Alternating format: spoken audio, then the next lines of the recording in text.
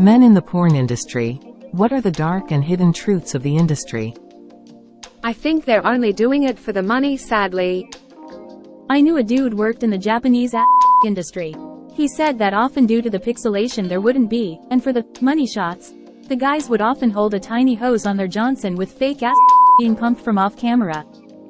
Most of the stepmother scenes are filmed by actresses with no marital or familial relationship to the actor. They just lie about it. No way. Most of the shoots do have. Sometimes they can't be bothered to try to find flesh-colored condoms so it'll hella stand out in some scenes if they don't fake thing happens. It's not particularly rare, but I'd still say it's an uncommon practice. Anytime it starts to take too long, out comes the squeeze bottle. Especially in too many random dudes who jumped at the chance to be in a video, but can't get past the stage fright.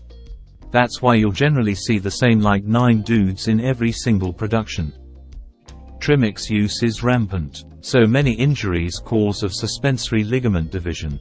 If you can't on command you're pretty much never gonna get a job with a larger studio. I dunno about the other studios, but pretty much any shoot in Burbank is at a rented property. The whole place ends up smelling like sweat and it is being shot. I wanna know about pay. We all have tiny penises, it's just Hollywood magic. You think the actress is but it's just forced perspective, she's actually 5 feet across the room like those scenes from LOTR. Chews up its talent in some pretty cruel ways, man or this thing called the magic AIDSA, uh, or at least there used to be. 8. Can last at least 80 minutes and still act on command, and can keep it up while at least 8 people just with the magic AIDSA. Uh, dudes will never make the same kind of money as their female coworkers in straight. If you are a dude, you need often need to do just to earn a decent aren't really a thing when sildenafil. is amount of misconduct on set is bonkers. It's very common for experienced talent. With no ethics to take advantage of new talent before or after a scene to show them the in period up your personal dating life, even if you are an accountant or marketing. Just mentioning that you work for, company, makes people very leery about dating you. You are almost entirely restricted to dating in the industry. Which sucks when you are just an accountant trying to get since people are asking. Yes, I did work in the industry for a very brief period. I was an equipment manager for one of the production houses. I did not date any models, but I did date in the industry. I mostly just received inventory, but I also was in charge of loaning out assets like cameras, audio recording gear, lighting, etc. We would order gear, and it was my job to receive it, tag it, put it into inventory, then check it out for use. I have always wondered about this, coming on command, thing. Is it something that people are born and able to do or do they practice for it somehow and master it? And here I thought people just used Trimix for scuba. Why would an accountant have trouble dating? They can just say they are an accountant at a production company and that's about it. This got me confused. I was wondering what an erectile dysfunction med had to do with scuba. Didn't know that it had the same name as the breathing gas. But yeah, there's bitri and quad mix that refer to the how many ingredients are in the ed medication. This is the truth I came here for. You would think so, but eventually it comes out that you aren't accounting for some boring firm. You are now a accountant. A mix of both probably. It's not like on command like a trigger pull. It's more like, I'm gonna need you to in the next 30 to 60 seconds so we can wrap this up. I dunno if you can practice and master it. It's a lot like getting in when you need to. You just gotta get in that right headspace and let it happen regardless of the crowd watching, camera shutters going off, etc. Musical note. Maybe he's born with it. Maybe it's musical notes.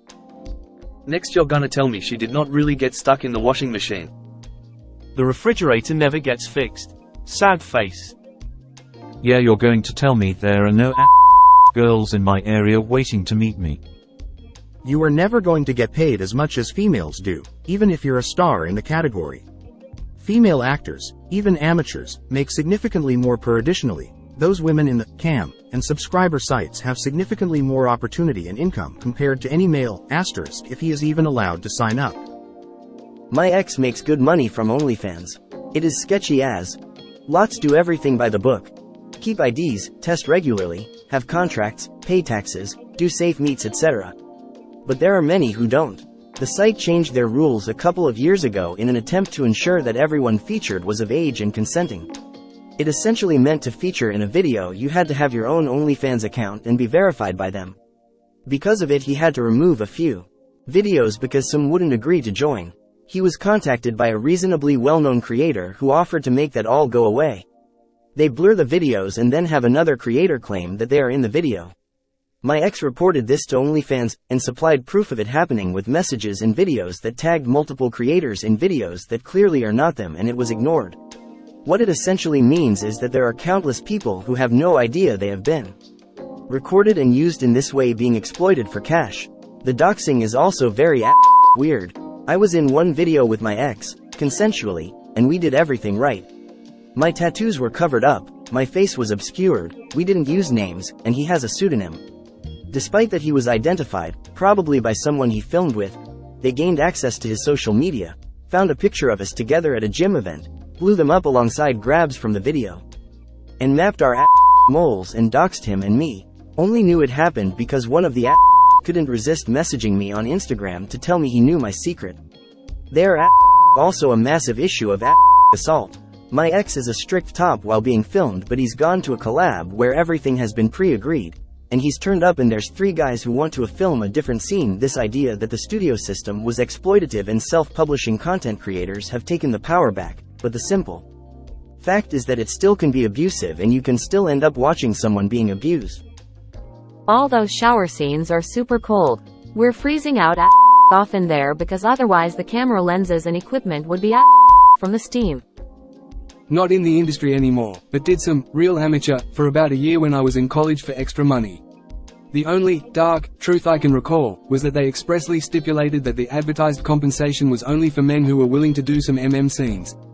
The MF scenes only paid about 45% of the advertised compensation.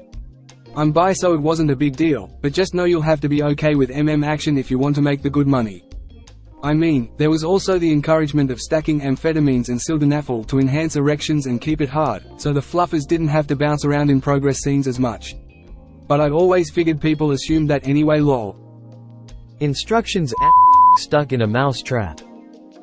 Horses don't look like horses on film, so if a scene requires a horse, they usually just tape a bunch of cats together. Yeah, I had a friend who did copy editing, web and print layout for a toy company and a lot of their friends were also in the industry. Sysadmin for websites. Database admin for websites. Ad network programmer for ad networks. It's a weird little niche. I can do flaccid to in 20 to 30 seconds but I can't last longer. Greater than sildenafil I thought the medical name for was mycoxaflopin. Well makes sense, I would assume for one girl willing to do a you can find at least asterisk 10 guys. Some of them probably willing to perform for free. Huh? That makes total sense. Next you're going to tell me that that 2023 filmed Riley Reid video was in fact, not, her first time. You have just answered a question I've had forever.